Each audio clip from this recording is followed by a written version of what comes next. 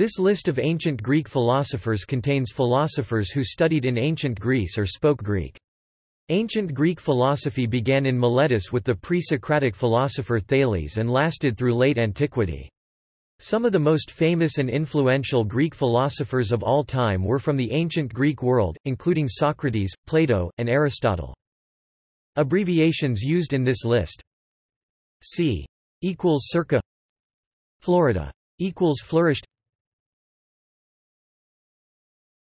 Topic. See also. List of ancient Platonists. List of Cynic philosophers. List of Epicurean philosophers. List of Stoic philosophers. Topic. References.